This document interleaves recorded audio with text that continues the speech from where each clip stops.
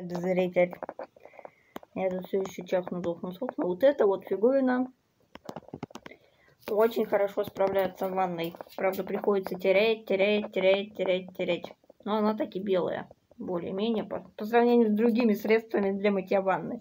Но вот э, с вот этой вот керамикой оно вообще никак не контачит, вообще никакого эффекта. Я вот уже заколебалась э, покупать какое-либо средство, чтобы вот эту вот керамику помыть и сделать ее белой.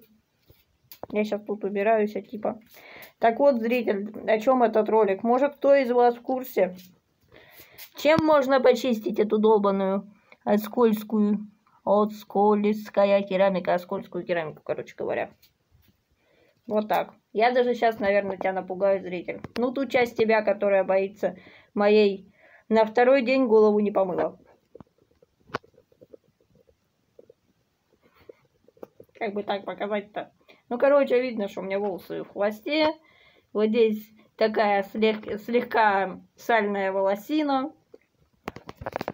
Ну, я тут дофига еще все-таки простужен. Вчера вроде как-то полегче было, сейчас что-то меня...